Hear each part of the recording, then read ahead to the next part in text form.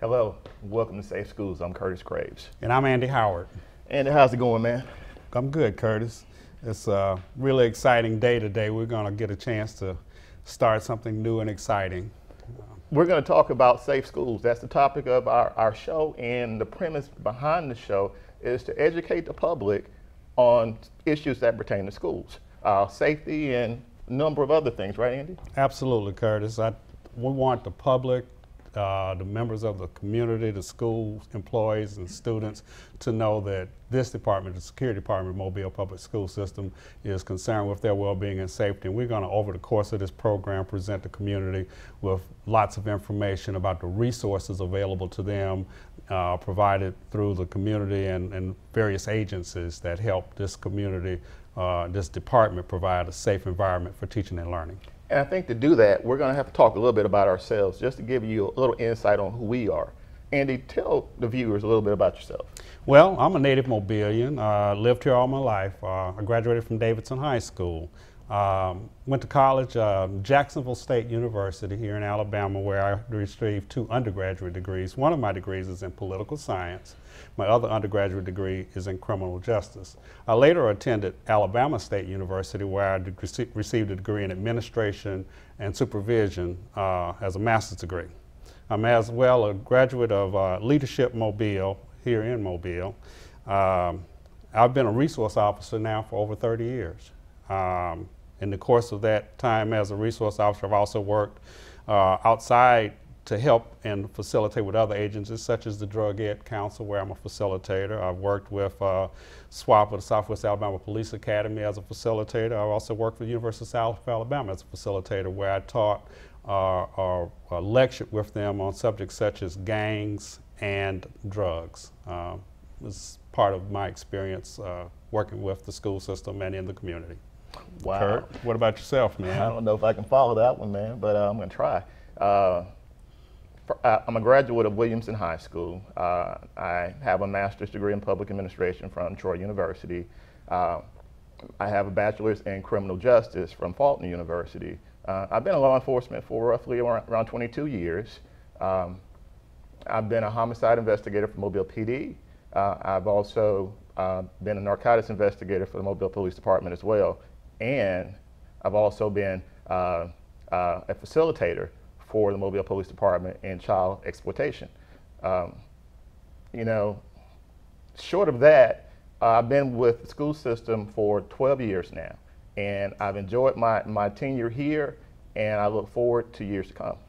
Well, Kurt, I think uh, we're going to have an exciting opportunity to share a lot of things with the public and the kind of experiences that you and I have hopefully will give us a basis or a template to supply information that will be educational, beneficial, and helpful to the community.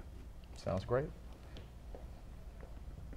Diesel is a very big industry and uh, I went into it in a two-year program at the Bryant Career Tech with Tony Tillman. When Jacob graduated from the Bryant Career Center, he had earned his diesel credential. The Career Technical Center taught me a lot, all the way from not knowing anything about a motor or engine to knowing pretty much every single moving part of them. MCPSS Career Tech. Start your future today.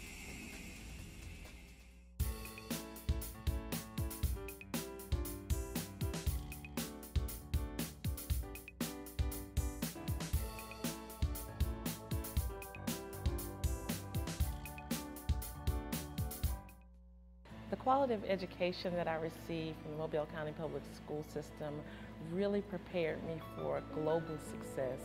Being uh, an international opera singer, I get to travel all across the world. And one of the most important aspects about that is being able to communicate and work with people. And the Mobile County Public School System really equipped me to be greatly successful worldwide.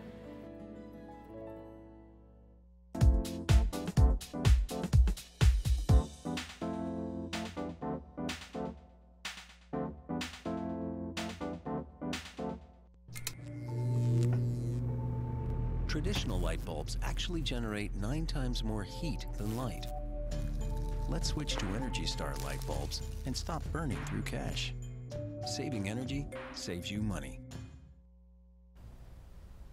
Hey, welcome back. Uh, we have two guests with us right now. We have uh, Mr. William Duffey. He is the uh, Director of School Security for the Mobile County Public School System. Uh, welcome, Mr. Duffey. And we have Sim Oakley, Resource Officer for the Mobile County Public School System as well. Uh, Mr. Duffey, um, thanks for coming on the show, and uh, we'd like to start with a couple of questions about the security department with, in your position as the director. Uh, one of the first questions I have, of course, is tell us a little bit about yourself and how you ended up here in the school system and what your experience has been here. Certainly. Well, first let me say that uh, I um, certainly appreciate the opportunity to be here on, on your show today. And uh, my background uh, i- is similar uh, to, to yours. Uh, I was uh, with the Mobile Police Department for a number of years. I've actually been with the school system. Uh, I'm starting my 37th year with the school My system. Uh, and I've been in a supervisory position with the security department for probably 35 or 36 of those uh, years. so I have some uh, tenure with the system. And, you've been here since the very beginning of this program. right, Kurt. I was uh, one of the first four resource officers hired. Um, and as a, a matter of fact, I'm one of the only, the, the only uh, of the original four that are still here. And to add, he's our supervisor. All right. So, with that, Mr. Duffey, could you tell us a little bit about the history of the security department here with Mobile County Public School System?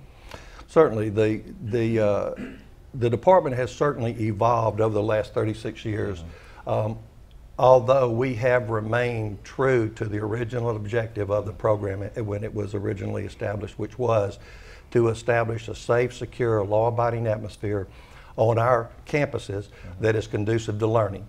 Um, So we, we remain consistent with that as our objective and our goals.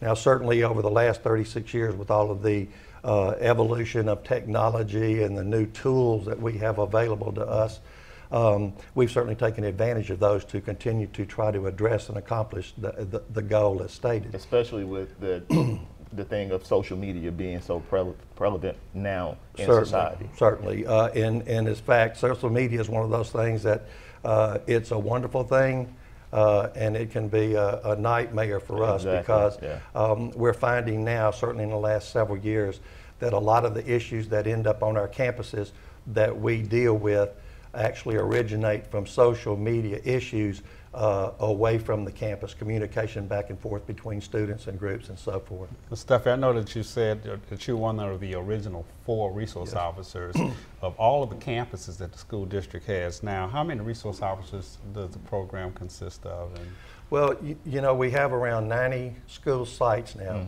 Okay. uh, and we have 12 resource officers. And those resource officers are assigned to clustering of school on a geographic basis. Uh, yeah, all resource officers have schools that are from K through 12. Uh, with the average, uh, the, least uh, run around six assignments um, and up to about 10 or 11 assignments. And So there are what, 12 high schools? Right, and there's 12 all- high schools. And re- each resource officer is Asana, is Asana High School Right. and the feeder schools. Exactly. Right. So the resource, and, and that's why there's some um, uh, discrepancy between the number of schools assigned is because uh, the schools that feed those particular, the high schools. So the Right. primary task of a resource officer, investigator? would that? Exactly. Okay. Um, you know, over the years, there's been a lot of confusion about the responsibilities from uh, putting us in a role of, say, a truant officer, um, or just uh, thinking of us in a, in a similar capacity of, say, a security uh, guard, a uniformed person who's just there as a presence. Right. Uh, and of course, nothing could be, uh, you know, further from the truth. Um, the, the resource officers are professional, uh, degreed uh, uh, uh, individuals. All of them have extensive law enforcement experience. Um, I've been told by other uh, law enforcement uh, officials in our area that I probably have one of the best detective bureaus uh, in the county, and that's how you can kind of think of the resource officer program. Kind of leads me into my next question. What do you typically look for when you're looking for a resource officer? Well, you know, to even apply, you have to have five years of formal law enforcement experience. We look for individuals who have uh, a minimum of a four-year degree in criminal justice or a related field. Uh, the majority of the resource officers now have master's degree in criminal justice or a related field. Uh, and we're finding now that most of the applicants that are real competitive are already in, in possession of their master's degrees. Um, and then I start looking for the extensive experience in various investigative um, departments within a law enforcement agency. Uh, juvenile investigation, drug investigation, property crime investigation, homicide investigation. Um, so the more experienced you are and the more variety of background you have, uh, you certainly elevate, and that's Which leads me to our second guest here, Mr. Oakley. How you doing, dude? Good morning. How y'all doing? Good, good. Tell us a little bit about yourself, man. Well, um, I'm presently well I'm from Mobile. Um, I grew up in the Toulminville community. Um, graduated from John L. LeFlore High School. Okay, take great, John L. great pride in that. John L. Um, my education background, I have a master's in criminal justice, uh, which I attended Faulkner University, and um, I also have a master's in public administration from Troy University. Um, yeah, after I graduated, uh, I went and uh, served some time with the uh, with the military, the Air Force Reserves. Um, I did uh, 20 years uh, with the Air Force Reserves, uh, based out of Keesler. Hurricane hunters, right? That's correct, and uh, also the tactical airlift uh, from the same wing there. Um, I guess I, you could say I'm a veteran of uh, uh, the first Gulf War and the second Gulf War. Yeah. Um, but uh, that's basically about, I guess, my experience. I was um, also a police officer for um, about five years. For the Mobile Police Department, you were in special operations. there, That's right? correct, Yeah. and uh, where our focus was on the gangs and drugs. Right. Yeah, So I, I enjoyed my tenure there. Um, and after I left the police department, uh, uh, I worked for the federal government, uh, where I did uh, uh, survival uh, instructions for the air crew. Um, that's basically it. Pretty extensive history there, guy. Yeah, Pretty good. you, Appreciate it. It kind of maybe segues to what you're tasked with uh, as a resource officer for the Department of Industrial School System. I, I kind of jokingly referred to you as the safety czar for the school system. Disseminated. Uh, you got a particular task that you've been engaged with for the past several years. Could you share with us about that, Mr. Oakley? Yes, uh, I guess my primary responsibility, of course, is being a resource officer from day to day. Uh, my additional duty is the uh, incorporation uh, of the safety plans into the virtual Alabama uh, system. But all of that, not to cut you off, but all that falls under the National Incident Management System, right? NIMS, in other words. That's correct. Uh, basically, what happened, um, you know, our department uh, started in 1999 being the school system, uh, generating these safety plans uh, based on various incidents that happened, especially the Columbine incident. Okay. Uh, since then, um, since 9/11, uh, the terrorist attacks, uh, the federal government decided to have one unified plan, uh, well, what they call a unified response plan. Okay. Uh, and since then, the uh, State Department of Education wanted us to adopt that plan. And basically, that plan is a systematic, proactive approach uh, or guide for departments and agencies at all levels of government, non-governmental agencies as well, uh, to basically manage incidents involving threats uh, and, and hazards, regardless of the size, shape, or, or whatever, uh, to reduce like, uh, loss of life and property. Is that correct? That's correct. Uh, and uh, what the federal government found out uh, after 9 11 is that uh, once they had those incidents uh, in the lower Manhattan area, there, that you had responders uh, from all over that actually showed up on the scene to, uh, to help and assist.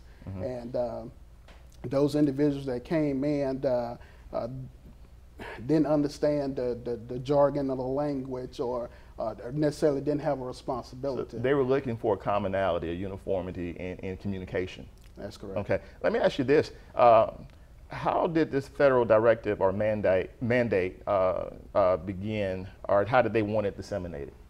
Well, what happened was is uh, the president at the time decided uh, after 9/11 um, that uh, he would establish uh, the Department of Homeland Security, uh, and from that, uh, uh, uh, the Department of Homeland Security brought in several, several agencies, including FEMA. And uh, FEMA um, was uh, governed to put together this national response plan. So, in turn, um, all the uh, private and public entities uh, supposed to uh, go on and, and do this training through FEMA, uh, FEMA uh, in regards to the NIM certification.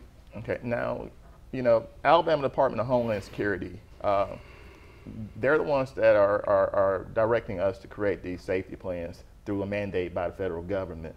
Uh, tell the viewers why is it important to have a safety plan, school safety plan? Well, for us, uh, part of our mission um, from the Safety and Security Department is uh, a safe, secure, law-abiding uh, atmosphere.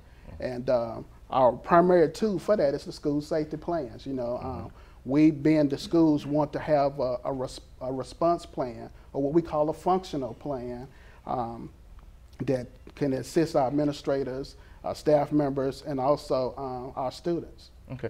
At the state level of government, what organizations uh, within the state are responsible for the development of the virtual Alabama link?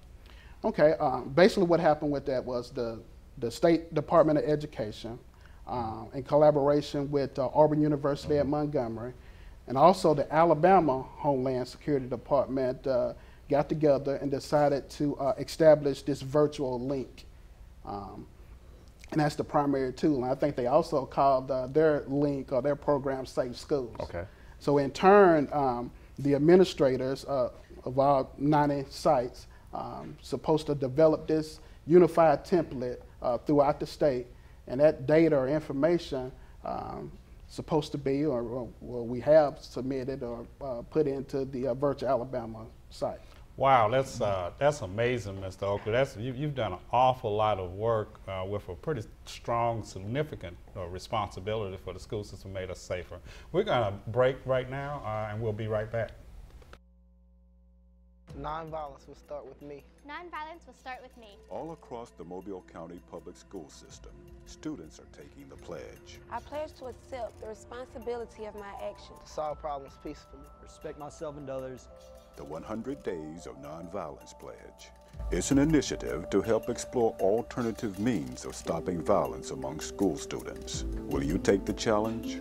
Get involved. Take a stand. 100 Days, 100 Ways. I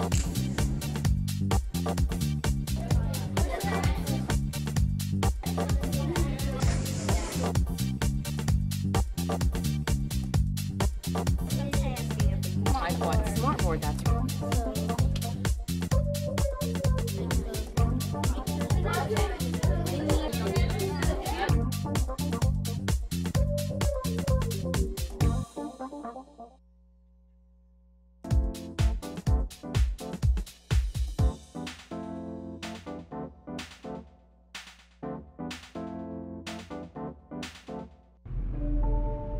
Traditional light bulbs actually generate nine times more heat than light.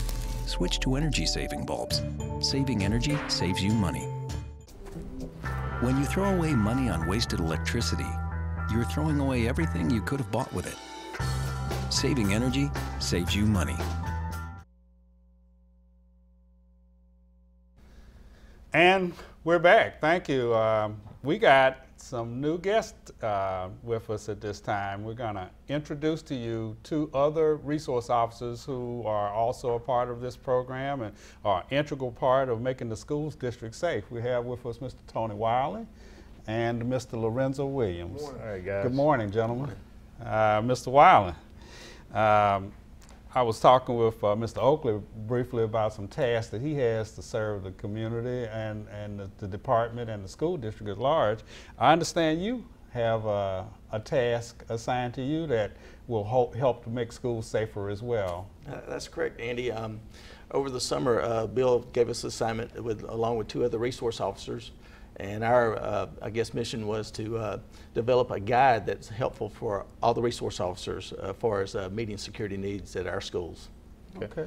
Tony, tell us a little bit about yourself and tell the viewers. I know all about you, but tell the viewers Sure. about yourself. Sure. Um, uh, I'm a Mobile native, just like y'all. Uh, I graduated from Mary Montgomery High School.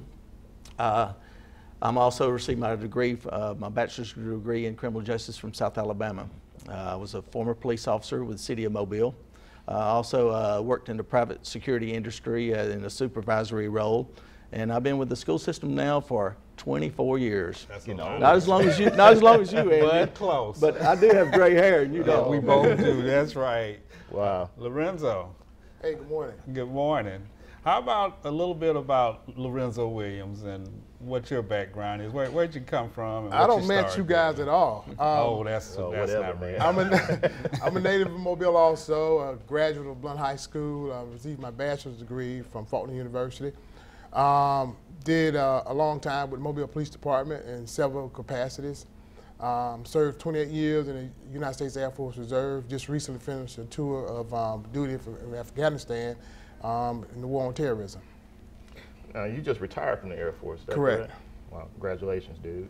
Um, let's talk about um, bus training, and we're still talking about safety plans. We kind of finished up with Oakley earlier, but we want to phase into the bus safety plans, and you're spearheading that initiative. Tell us a little bit about it.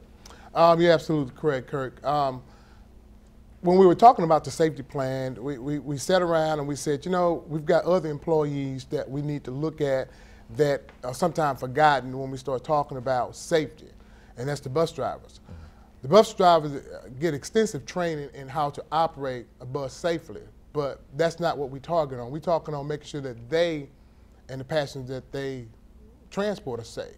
Right. So we looked at several things and tried to curtail it down to uh, what we thought was important, some of the things that concerned the bus drivers. So we went out and we interviewed many bus drivers and we took their concerns, brought them back to the table and said, hey, this is what we need to look at. These are some of the things that they are concerned about. On a typical day, on an average day in Mobile County, roughly how many buses are normally on the roads in Mobile County? Approximately 730 buses on the road Approximately every day. 730 730 buses. buses. Oh, wow, okay. All right. Now, when we look at that, we look at also the number of kids roughly that they're transporting. It's quite a few if you're looking at that many buses on the road. Uh, so that kind of puts an importance on bus driver training. Uh, kind of expound a little bit more on the bus driver training and what all, what else you're doing to to facilitate that training. Well, as I said, we, we took a lot of the concerns that the bus drivers had, uh, which was some, some incidents that happen on buses, some of the incidents that happen at bus stops, um, some of the things that happen as they're driving. And uh, we compiled a list of things and broke them down into modules. Okay. So we decided to put training in place to facilitate their concerns. There there are some things, uh, Lorenzo, that come to mind when you saw, say, training in particular, um, evacuating, uh, inclement weather, uh, hostile situations, and hazardous materials. Those are some of the concerns that you've addressed in trying to facilitate training bus drivers and how to react and how to prepare uh, to make their clients, the, the, the riders of our buses, safe. Uh, You're absolutely correct, Andy. When you look at a bus, and I know I did, when I saw a bus driving down the street, I was just hoping it didn't get in my way. that was my biggest concern. But it's more to that. Exactly, a whole lot more to that. And when we start looking at the incidents that happen on buses and how those bus drivers were able to mitigate those incidents, we said, wow, we need to give these people some help. So we start thinking about some things that affect our area. Weather is, is one. Tornadoes, they can pop up anytime, as we know. Uh, we know there are instances where we have people that are not necessarily happy with the bus driver or happy with the circumstances that they may be in, and they may want to approach, approach a, a bus driver um, in a hostile manner. So those are just some of the things that we addressed in our training. And I'm glad you said that, Lorenzo, because I know some things that happen in in in the country, uh, more specifically in Alabama. The incident that occurred in Midland uh, City, in North Alabama. Right. Um, that kind of kind of focused on the importance of, of bus training and Correct. how to respond to threats. And from that, we initiated some some new laws. Right. That deal with intruders on buses. Right. Um, do you know anything about that? Can you share anything with, with us on that? primarily? Absolutely. Um, trespassing is one of the biggest things, and uh, most of our buses are equipped with devices that can detect behavior that shouldn't be done on buses. Um, the trespassing is one. Um, people who are not allowed on buses should not be on buses. That's against the law. Matter of fact, Judge, ben- I mean Governor Governor Bentley uh, recently passed a law that that um, made it a Class A misdemeanor. Correct. To actually board a bus uh, unlawfully. Correct. So from this thing that happened in Midland, it kind of spun into uh, a great need for bus safety. Right. And I think Mobile County is probably one of the few, uh, if not the only, um, uh, school system in the county right now, or in the state rather, that's actually focusing on bus safety to the degree that we are right now. Right. Just to back up a second, during our interview with the bus drivers, that was one of the things that they were concerned about. Most of those bus drivers brought up that incident. Hey, what do I do? How do I respond to something like that? Mm-hmm. So we got real concerned about making sure that we put something in place to make sure that they felt a little bit more comfortable with dealing with situations like that. And one of the biggest things was to make sure that what they did on the bus will facilitate them getting help from law enforcement. Right. Okay. And, and, it goes back to safety planning. It goes back to having a plan. Correct. Okay. And that's something that, again, we are kind of at the top in dealing with that right now. We focused on that. We know the importance of it. We know that families want to know that their kids are safe when they're at school uh, because that's your most precious right. thing. Exactly. Your children. That's what you work for. Right. Okay. And we're here to make sure that your children go home the same way they came to school. Exactly. And it's all about safety. That's just one of the many things that we're focusing on right now. Right. Exactly.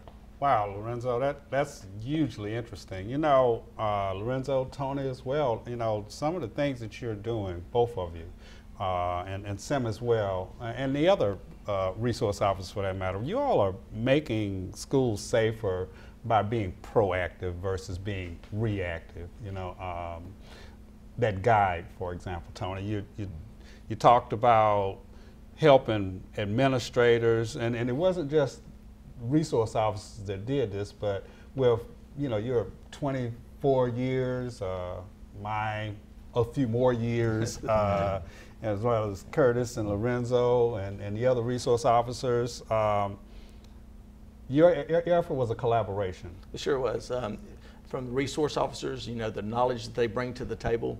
Uh, your administrators, they would uh, have ideas that would go, man, that's a great idea right there. Mm-hmm. Something that maybe they're using in one part of the, the district that they're not using in another, and we are able to share that with the, the administrators, and which makes a safer environment for all of us. So you came up with a best practices guide to help administrators and resource officers secure schools and to make sure that our schools are safe in all areas of, of, of the campus. Exactly. Well, well thanks, uh, Tony. Thank you, Andy. Uh, Lorenzo. You're welcome. Uh, we are thrilled to have, be able to present to the public some of what you saw today, an opportunity to share knowledge and information that we hope will facilitate safe schools for everyone. That when a person comes into a school building, gets on a school bus, comes into the responsibility of this school district, this department is committed to making people safe uh, have confidence that their child has an opportunity where teaching and learning can occur. That's our goal. Thank you for visiting and viewing Safe Schools.